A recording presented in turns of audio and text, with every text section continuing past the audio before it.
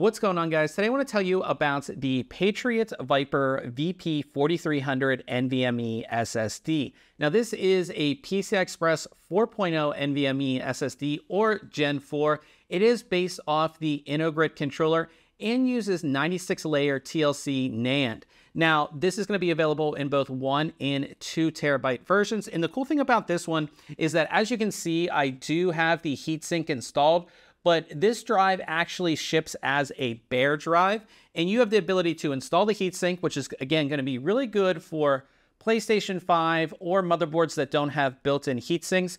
But you also do get a heat spreader with it.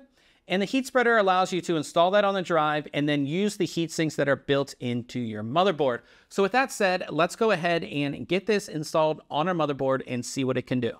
I've gone ahead and installed the drive in an open M.2 slot on my motherboard. It was very easy to go ahead and get installed.